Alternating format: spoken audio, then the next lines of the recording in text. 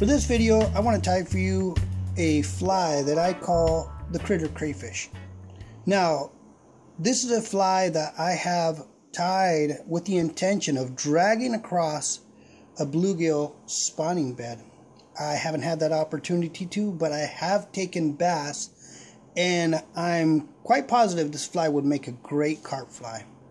Now, we're going to be tying this fly in a size number 8. We're going to be tying it on an Allen N202 number 8 hopper terrestrial hook. The beads here are not um, bead chain. What they are there is there two uh, 3.3 millimeter black nickel tungsten beads joined with 30 pound test mono. Um, we have as a body we're using a henback dyed in orange. The antenna is uh, pheasant tail, natural. Also, we have mono eyes uh, built up with epoxy, and I'm going to show the process on how to do that. And we also have these claws. These claws are the same uh, uh, henback dyed in orange. Now, uh, just uh, as a caveat, I do not know the exact species of this um, these feathers, this came in a grab bag from Cabela's with multiple feathers, and um, it's a great grab bag. It's $19. You'll have enough feathers to tie for years, and so that's what I'm utilizing.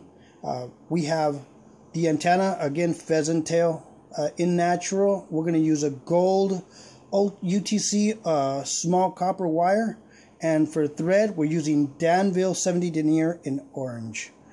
Okay, so let's get to tying. In the vise, we got our number 8 terrestrial hook, Allen N202. And so we're going to start our thread just behind, two eyes behind the, the eye. And we're going to come back up to about the midpoint, uh, right there. Okay. Now, hopefully you can see this. But I've got a 30 pound test mono here. And what I'm going to do is I'm going to burn this mono and I'm going to chase it.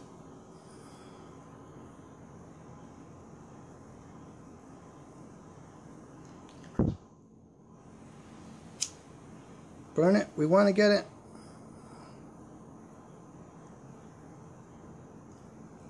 Right there.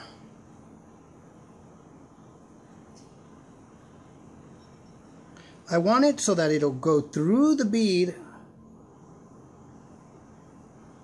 but not out. So now we're going to take this thread, run it through, run our bead down, And now we're going to cut. Don't use your good scissors for this, and if you do, use a back. 30 pound test mono is pretty heavy. Use some nippers. Nip that off there. Take your other bead. Small hole first because we're going to melt this down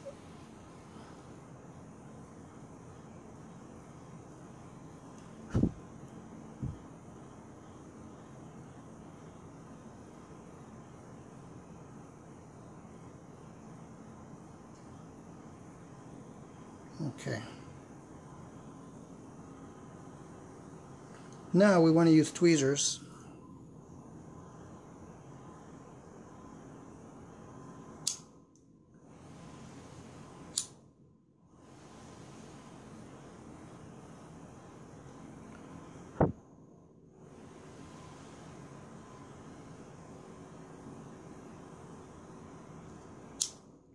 This end down. Work your way down towards the center.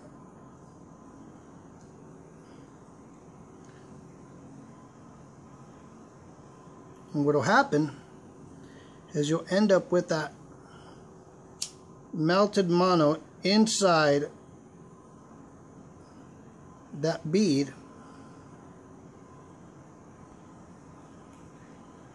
Sometimes you can get them and they'll look pretty.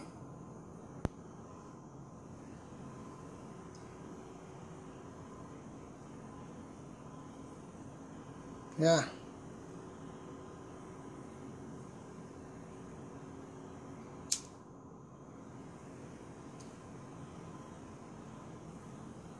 And sometimes you won't.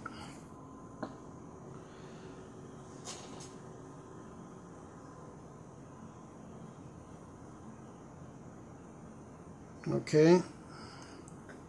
Cool them down.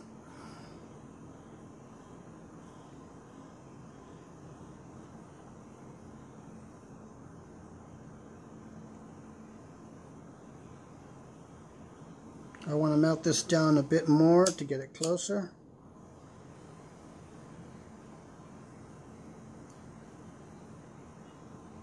And what I'm going to do is I'm going to take some UV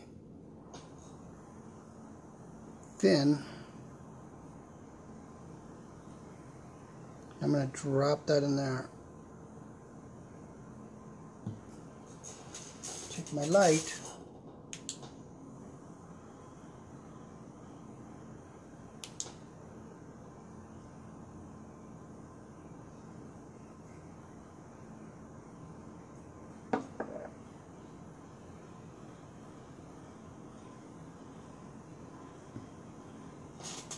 And this is what we're going to do.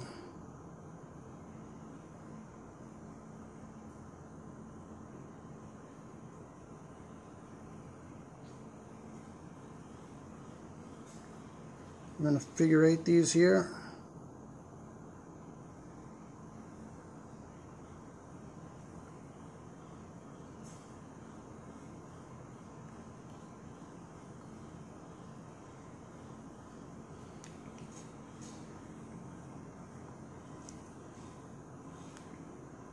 I would usually super glue them. I'm out of super glue right now. So we're going to go ahead and take our thread all the way up.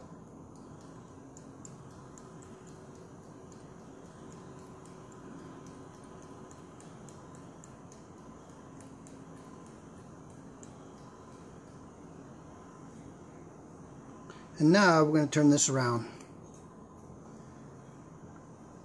Okay. So we want to take some pheasant tail fibers,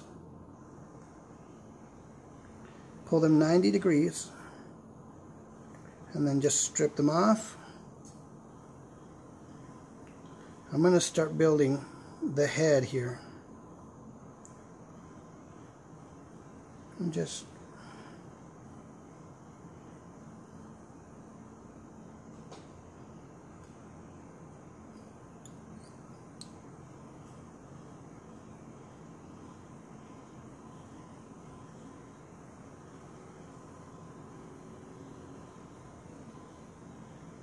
there's a few products or you know materials that we're going to be tying into here.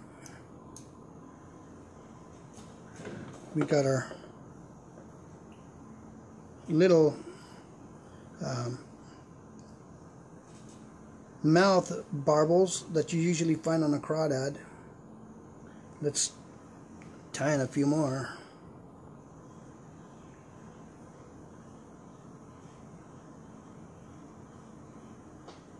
little bit shorter.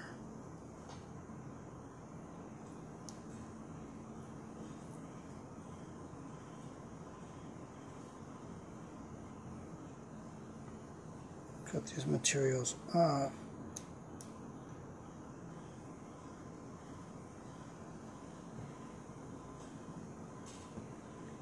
We do want to tie in our ribbon material at this time. Just a gold ultra wire.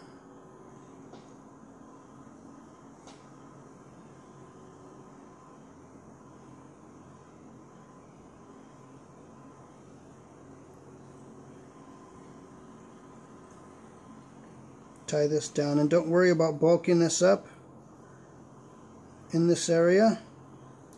You're gonna need some bulk. Okay Now we want to tie in our claws. And for our claws I have selected two feathers. They don't need to be exact. If you ever look at a crawdad, crawdads don't have uh, perfectly symmetrical claws. Usually you got one that's um, bigger than the other. You take this this feather here, take it, and trim that off, just like that.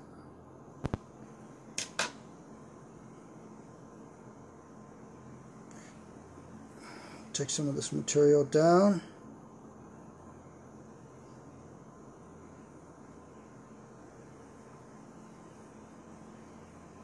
And I'm going to tie,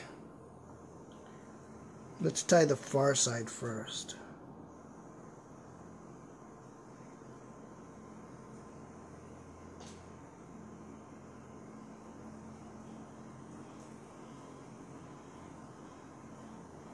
Now you know what we need to do is we need to bulk this up first because I need to get those those um, those materials to spread. And so what I'm going to do is I'm going to add to this. Apart from that, we're going to add, I was forgetting, our antenna. And so, again, we go with the pheasant. Three, four fibers.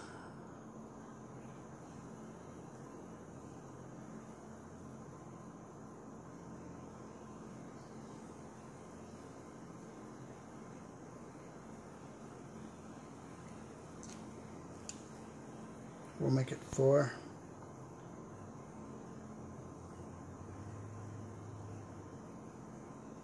And we're going to split these evenly. There we go.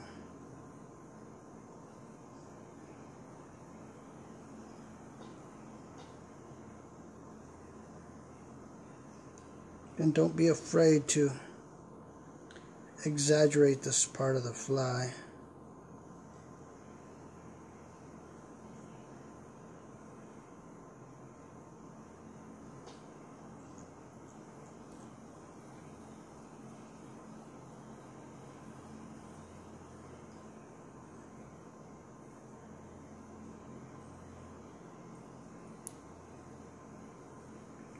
Okay. Well, just hit my camera.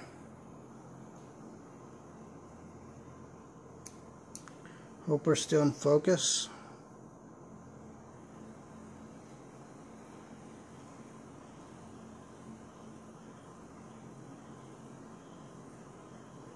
We are.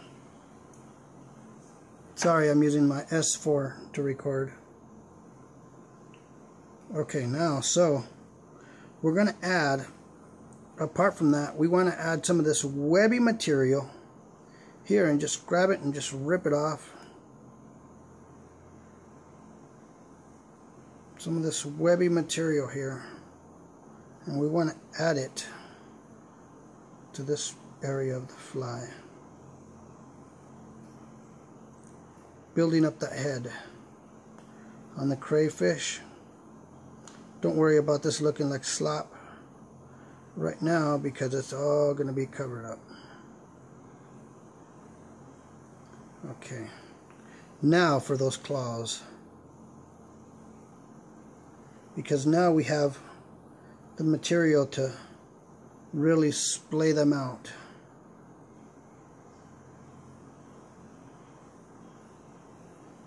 We want to tie them in up here.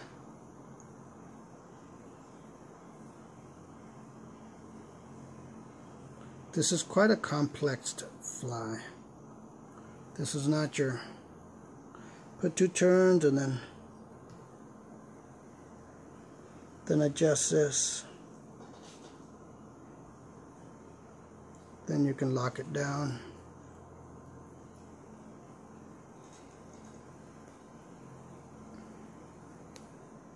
Take your materials.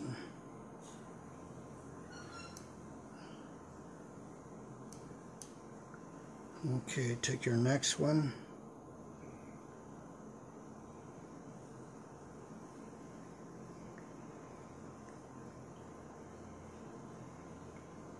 Trim the tip again.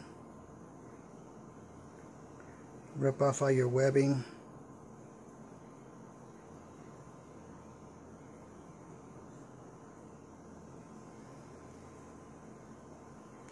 We're going to tie this one to this side.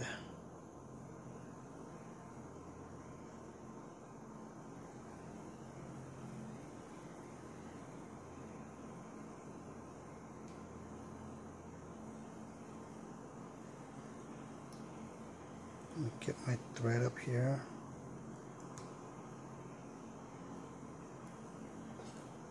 And so we want to look at this fly and see that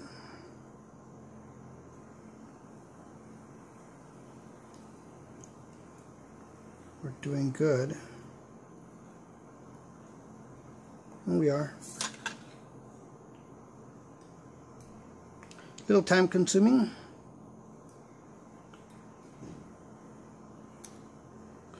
Okay. Lock down all these materials.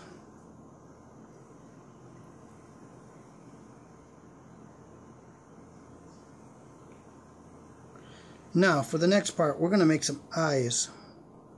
Again, we want to use mono. We want to use our 30 pound test mono and make some eyes here. And so what we're going to do Let's take our mono.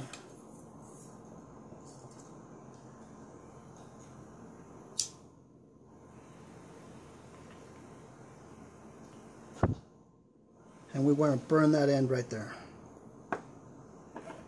Take our nippers.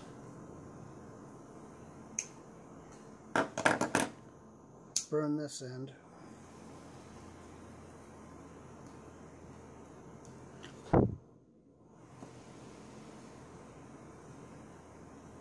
And so we got a good length. Now what we're going to do is we're going to color this. There are other ways. I know uh, In the Riffle has done this very same technique. If you want to check out his his videos on how he does these mono eyes, he actually blends uh, a colored epoxy you can use colored epoxies. I just take a Sharpie,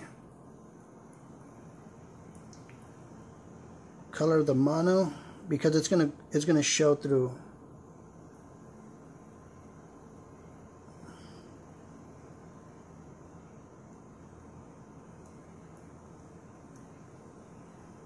Okay.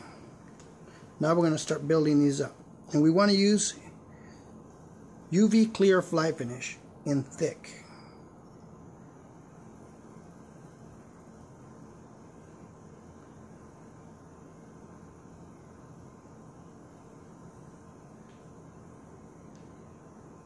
And you want that to kind of meld on there.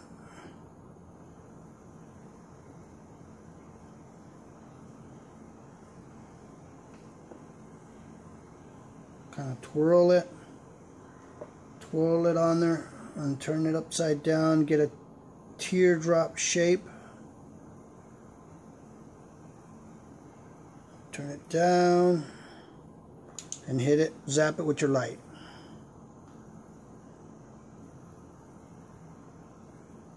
Okay, that's set. Again, do the other side.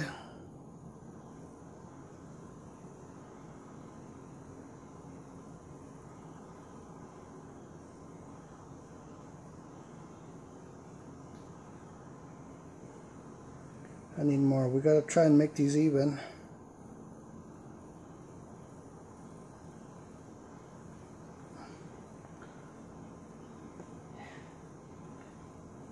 Okay. Now hit it with the light.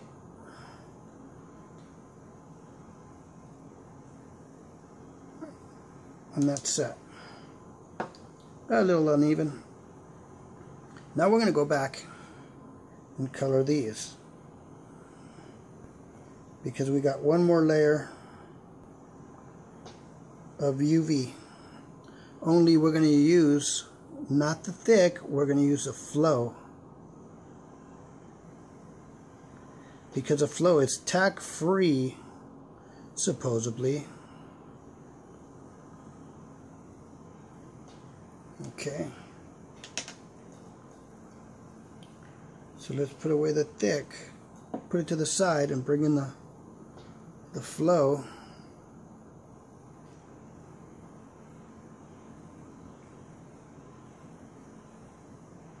This is very fluid stuff right here.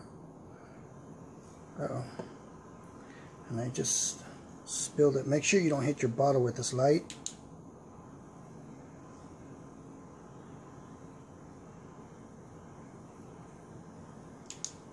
Set. Do the other one. And you just want to coat this stuff.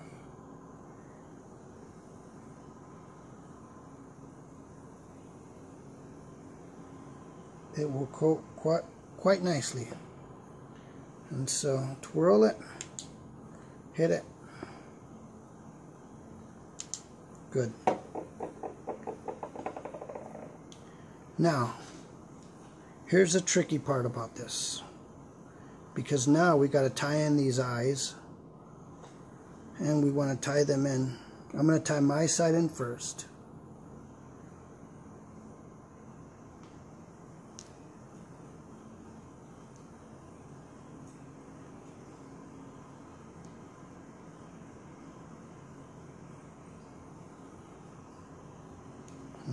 Tie them in to look like a crawdad. Crawdad's eyes. I'm going to go ahead and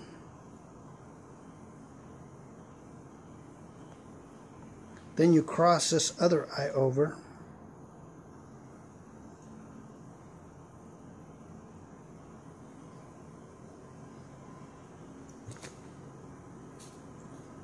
Uh-oh.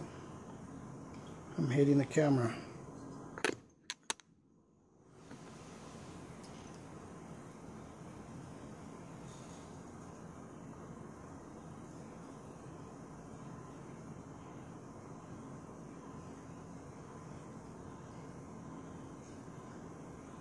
and then just work that mono into there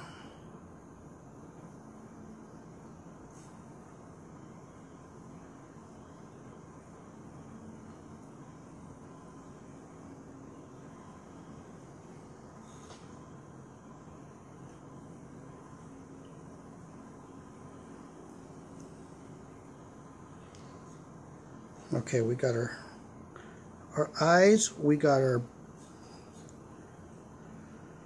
our weight, we got our claws. Now we need our scud back. For the back, shell back of this crawdad, I'm using a uh, scud back in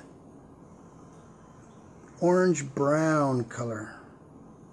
And here's a tricky part of this is that you got to tie this. There we go. There we go. You got to tie that. And here's what helps. If you're having problems with that getting in the way, because we got other materials we're going to tie, let's use a magnet. Okay, try not to pierce your hook. Okay, now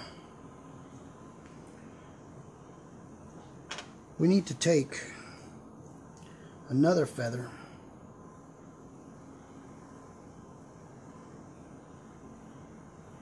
And what we need to do is we need to get all this webbing here using my uh, Petitjean clip. Take it. You can use any bulldog clip for this. I have actually wrapped the stem, but it really bulks.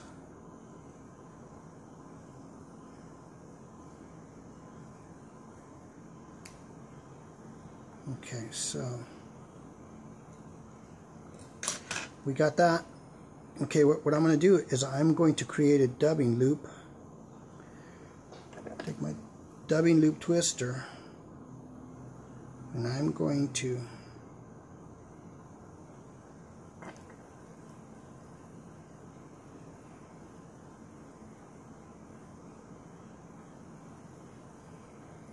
just bring this dubbing loop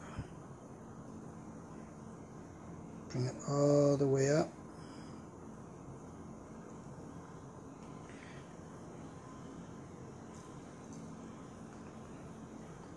I'm going to add some wax to this thread. I want it to be high tack to grab this material. Now, you see those long fibers and then there's short fibers? I want the long fibers up front. So I want that there. Pull this off. and twist our dubbing twister.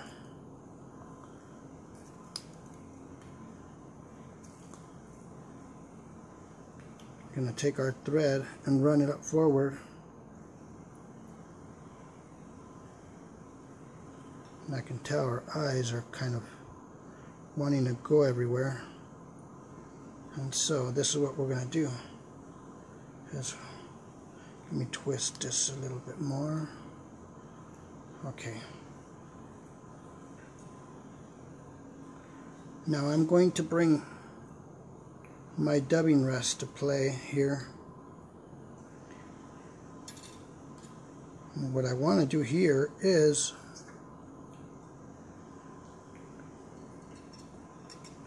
take a half hitch tool, throw a half hitch knot on there, get my thread out of the way holding my dubbing loop twister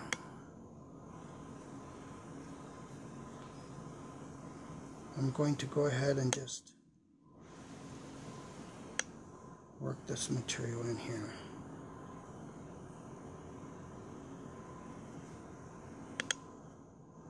And I keep hitting my camera, so let me just Get that out of the way there.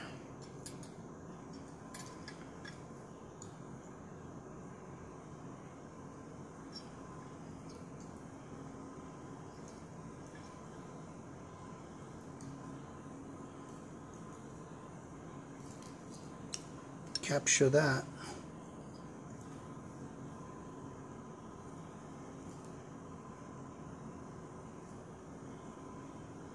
take this material cut it off.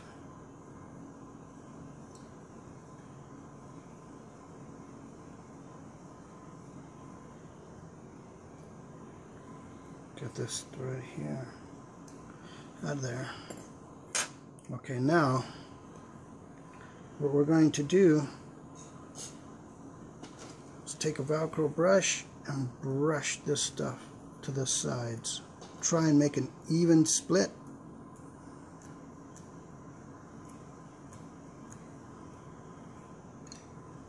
Get this magnet out of the way.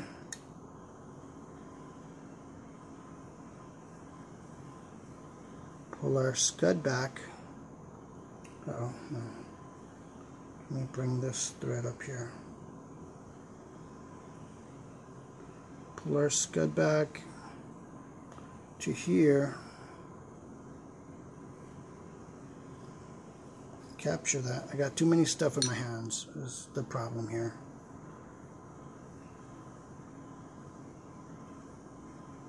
Let me get that in the other hand. Uh -uh.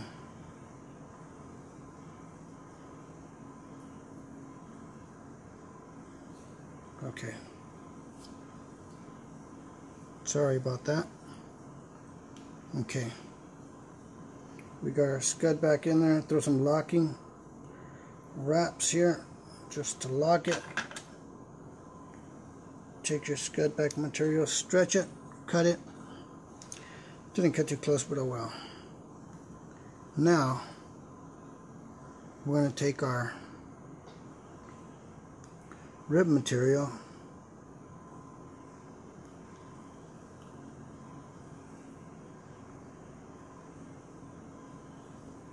and weave this without trapping too many fibers. And through here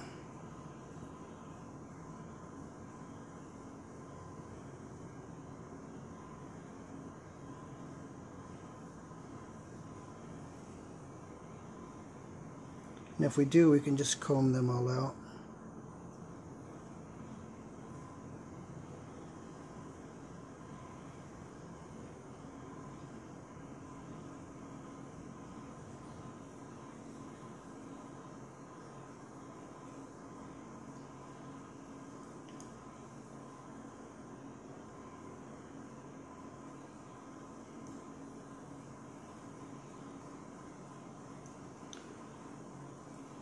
just throw this here.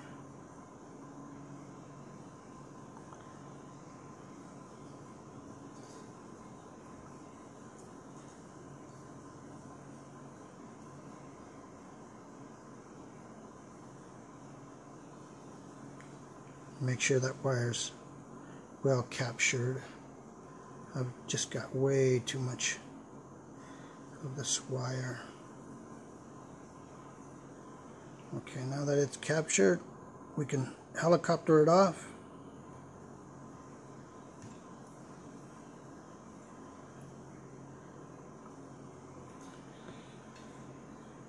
Take our whip finish tool.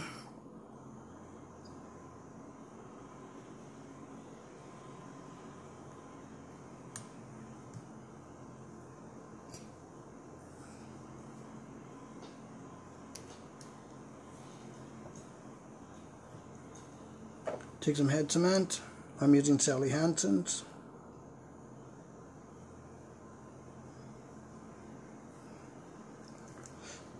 Put some there and there it is. Now, this fly, what it's going to take is a little bit of um, dressing. You're going to have to dress this fly a bit. Uh, trim out that uh, real webby, uh, what I call marabou. Trim that all out. And um, let's take it off here.